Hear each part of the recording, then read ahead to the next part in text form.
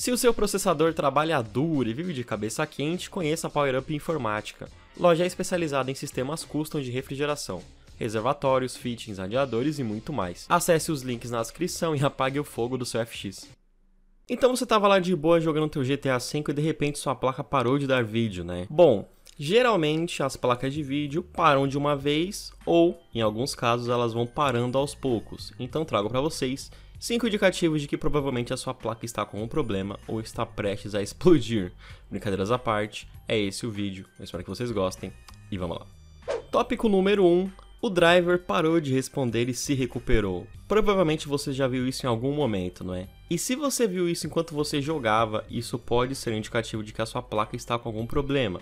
Pode ser, e isso vale para todos os tópicos, menos o último, e vocês vão entender. O que, que a gente tem que entender? A gente tem que entender que o driver ele tem um papel muito importante de comunicar uma peça com um sistema. Então o driver ele faz uma ponte entre a comunicação de um hardware com um sistema operacional, por exemplo. Essa comunicação ela é de baixo nível. O que significa que é uma comunicação, é um aplicativo, um programa, chame como você quiser, que trabalha no físico da placa. É basicamente essa a ideia da comunicação dele. Quando você vai jogar e sua placa de vídeo ela começa a apresentar esse problema com muita frequência, é porque alguma coisa física ou alguma configuração da BIOS da placa, alguma instabilidade está acontecendo com ela que está causando isso. E não é um problema em si do driver ou um problema do sistema operacional, embora possa ser também mas sobre isso eu vou dar uma dica para vocês no tópico 2. Tanto pode ser uma coisa física que quando você tem uma estabilidade de overclock, por exemplo, tem alguma coisa instável na GPU ou nas memórias, ou mesmo na tensão que essa placa está recebendo,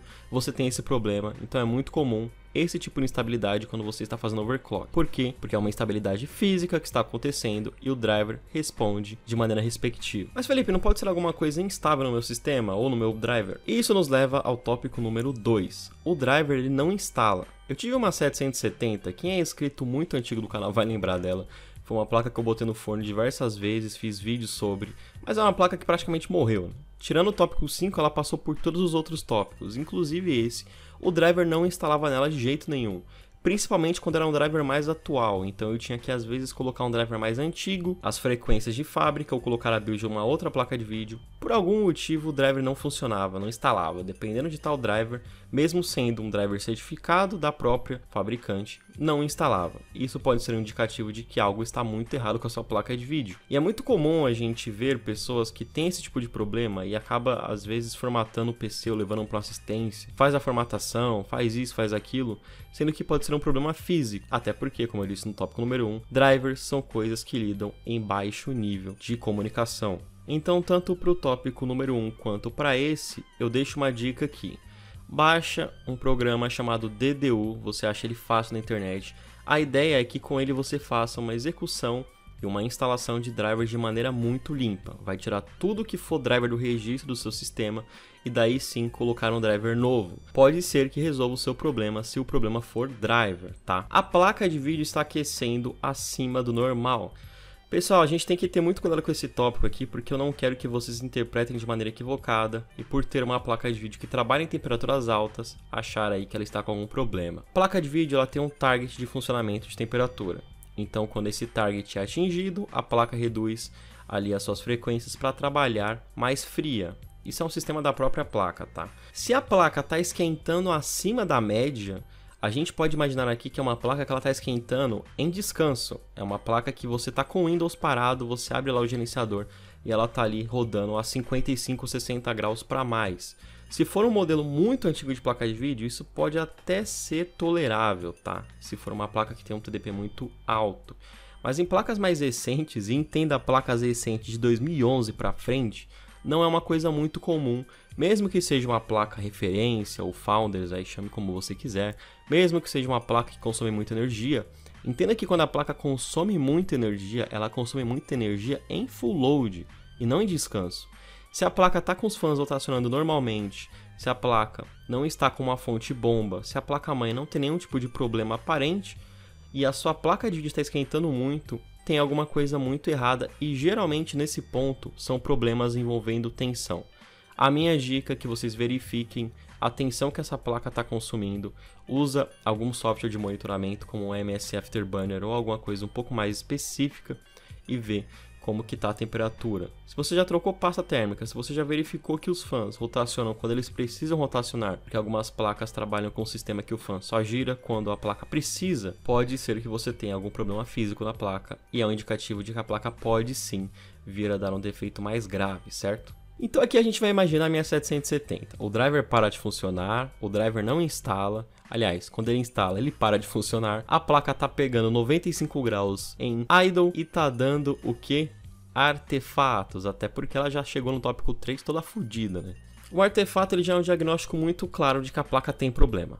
E o artefato ele é curioso porque ele pode ocorrer por instabilidade de frequência que é quando você faz um overclock mal sucedido, principalmente nas memórias, e você não colocou a atenção certa, ou a memória está esquentando demais, e você tem aqueles quadradinhos coloridos piscando na tela, ou alguma deformidade no gráfico, ou ele acontece, na maioria das vezes, por defeitos físicos. Se você tem uma GPU que apresenta algum tipo de anomalia, algum artefato, alguma coisa do tipo, já manda para assistência logo, não fica esperando que ela pare de vez porque às vezes é uma coisa simples de resolver, não vai precisar trocar a GPU ou as memórias. Se você deixar o negócio adiando, pode ser que você tenha que gastar mais dinheiro trocando componentes.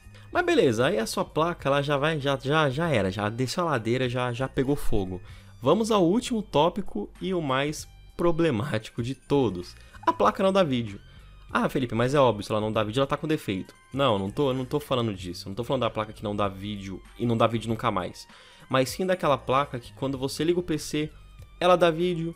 Às vezes você desliga o PC, não dá vídeo mais, às vezes você liga de novo. Demora pra caramba pra ela dar vídeo. É esse tipo de placa. É quando a placa dá vídeo quando quer, entendeu? E você já verificou que a placa-mãe não tá com problema, os cabos não estão com problema, o monitor não está com problema. É a placa. Você já entendeu o que é a placa.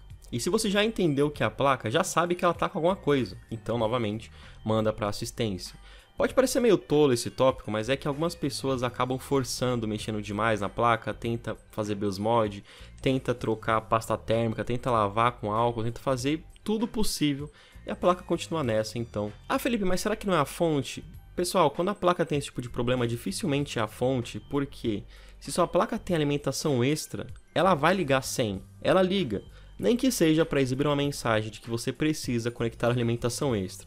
Então, Nesse caso, a gente já entende que se a placa tá com esse problema de ligar e desligar, parar de funcionar, é porque sim, é um problema físico, não é um problema de alimentação, não é a placa-mãe, não é um problema de driver, não é nada disso, porque não tem driver quando você liga o PC. Não é um jabá esse vídeo, não é patrocinado, mas a assistência técnica de mais confiança que eu conheço é a GTEC, que já foi patrocinadora do canal. Então, se você fez aquele overclock bolado e explodiu a placa, passa lá e vê com eles, tá? Novamente, essas são as dicas que eu trago para vocês que podem ser, ó, ó, presta atenção, podem ser um indicativo de que você tem problema. Procure uma assistência. Espero que vocês tenham gostado do vídeo e até o próximo vídeo, pessoal. Fui!